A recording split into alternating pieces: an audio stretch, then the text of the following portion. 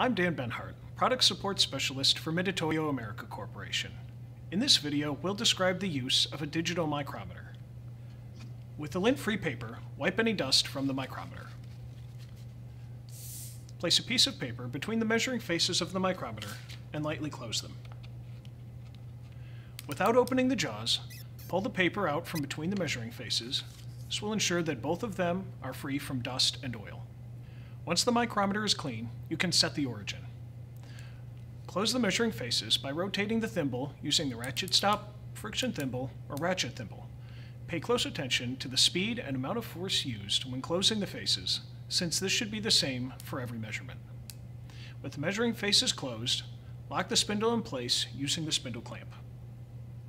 Press and hold the origin button until the display reads zero. You should also check the origin over the course of the day. This is because thermal expansion of the frame can cause the micrometer to give incorrect readings. Micrometers are typically used in two ways, held in the operator's hand and held by a micrometer stand. Handheld is often viewed as being more convenient and is required in situations when the item to be measured cannot be brought to a measuring station. However, holding a micrometer in your hand introduces more potential sources of error, as well as causing the frame to expand as the heat from your hand transfers to the micrometer frame. Micrometer stands provide a stable base and allow the operator to give their full attention to the alignment of the workpiece and to measuring force consistency.